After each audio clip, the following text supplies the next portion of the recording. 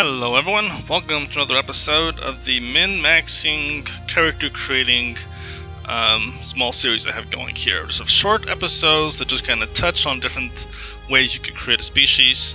Um, this episode, um, I am touching on um, something really, something really cool, something um, really neat to the whole uh, campaign that was introduced in Utopia, and that's called um, Unity. And most of the Unity stuff actually isn't in the um, traits bit, so this is going to be a shorter episode because I'm not going to be going into traits. Um, I already created a species this time around as well.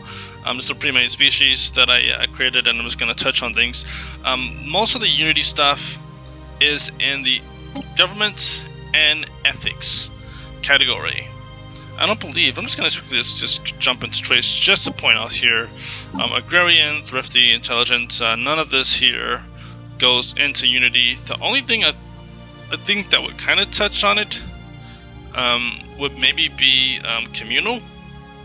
Even that doesn't do it. Um, so I don't think there's a single trait, at least for now, that um, is very beneficial for you as far as uh, Unity. Um, but I mean, when you're crafting your own species, um, it's good to have certain things for the specific reasons as to um, how you go about getting such a big boon of unity. If you want to min-max, um, the best way to get some of the the most unity is to either go with the uh, fanatic pacifist xenophobe route, um, and here's why. Um, a pacifist gives you a plus 40% to monthly unity. Um, and that's nice because you also get the uh, the core sector system. You can also get four extra core sector systems, um, and you also go with the um, xenophobe route. Um, and having xenophobe and pacifist together gives you inward perfection. Inward perfection gives you a plus 30% to your monthly unity. So with inward perfection and fanatic pacifists, that's a bonus of plus 70% to your monthly unity. Now if you add on the agrarian ideal, um, that gives you the option of um, producing one unity on all of your farms. And you build a lot of farms. Um, farming is really important in the game because your people have to eat. Um, and unless you're going to design a species that eats other species, um, and makes you know other species the focus of your development, which I wouldn't suggest uh, with this because it removes the point of even going this route. Um, you can only have agrarian ideal if your species is um, pacifist, either peaceful, uh, either basic pacifists or fanatic pacifists. Um, you have to have um, pacifists in order to get this agrarian ideal. Um, and you can do a lot with that. You can you can create a world that's just all farms. That allows you to um, allows you to do a lot of good things as far as um, making planet other planets focus on minerals or energy.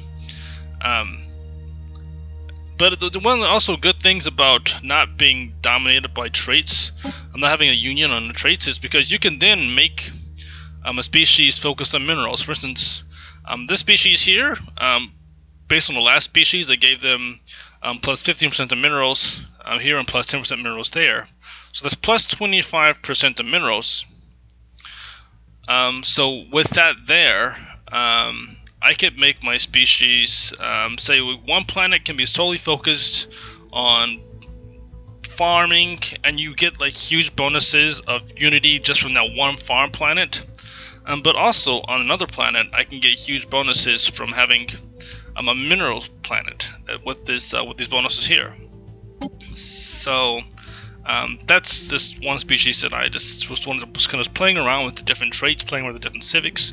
Um, I believe there's another. Um, I felt like there was another civic that gave you a lot of unity.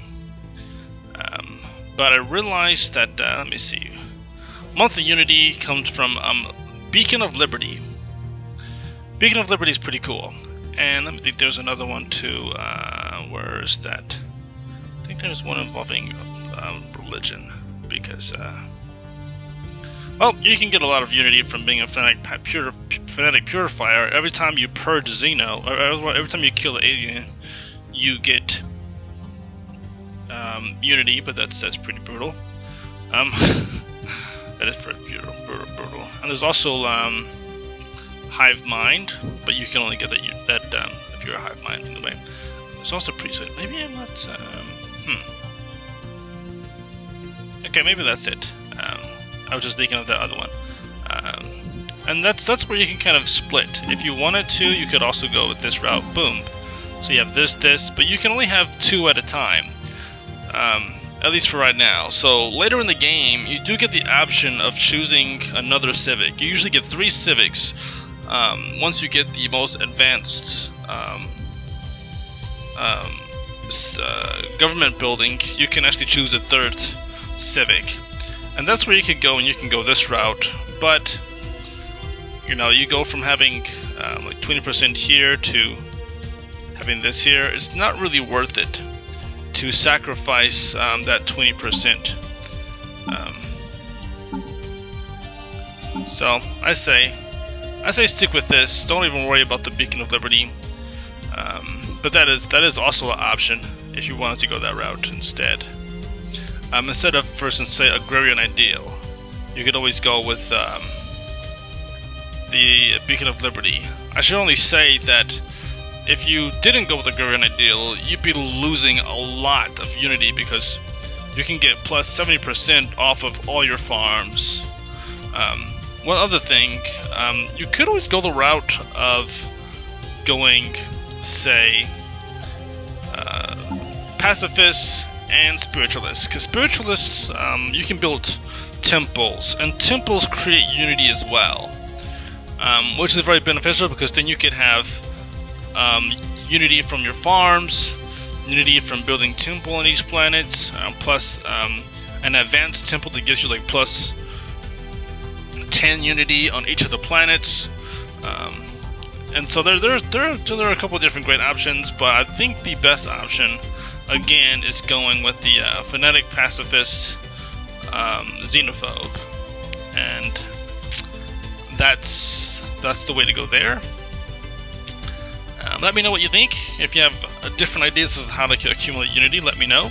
Um, but one other thing to say is that um, you can um, you can always you can always um, research. Um, I think there's a harmony tradition, and there's another tradition where you can um, get unity from your um, there's a lot of ums I can't remember it um, there's a uh, energy hubs energy hubs um, you can you go to a tradition and um, you can choose um, to get unity from energy hubs and that's also where the agrarian ideal comes in handy with the sorry not the, that but the um, that's where this plus 70% comes in handy because you can get plus 70% from all those unity hubs as well so inward perfection is excellent. Um, fanatic pacifist, excellent. If you wanted to build up your empire, build up unity, go through all the traditions, go through all the ascension perks um, very quickly um, without going to war a lot, that's the way to go. Um, that is definitely the way to go. Um, because uh, that's very beneficial. Once you've done that, once you've um, played that empire for like 100 years, um, then you could change your ethics and you can change your civics, um, and you've you've reaped some great benefits in the process.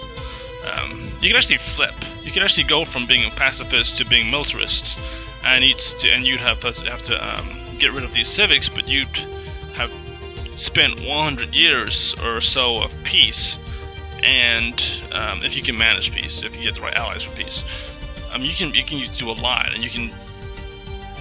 Anyway, that's it for that. Um, hope you liked that episode, and hope you um, you know if you, if you like my idea